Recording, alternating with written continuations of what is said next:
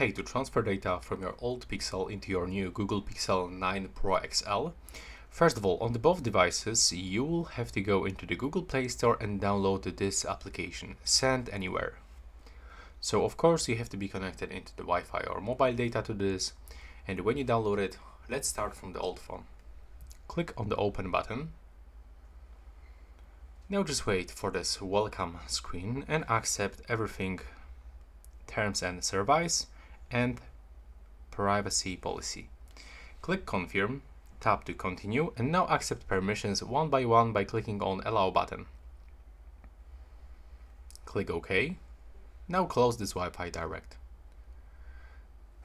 Now do the same on your Google Pixel 9 Pro XL.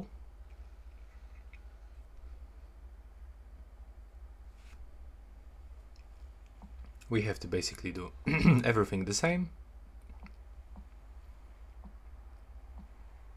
And now, on your Google Pixel 9 Pro XL, you have to switch from send to receive.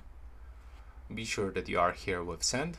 And now, you can select your photos, videos, audio files, apps, contacts, and of course, other files.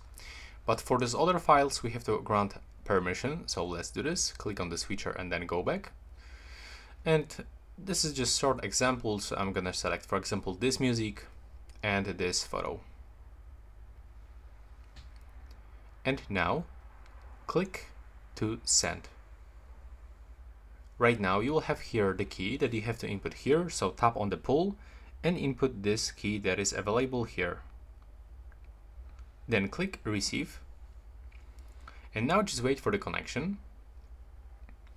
As you can see right now it's actually transferring and everything is fine. We can find some pop-up ads, but we can for sure um, turn them off. And now if you are searching for this for this files that you sent, so we have to go into the Google files. And if you are looking for the music, so it was here, we can find send anywhere folder. And here are tracks that we sent.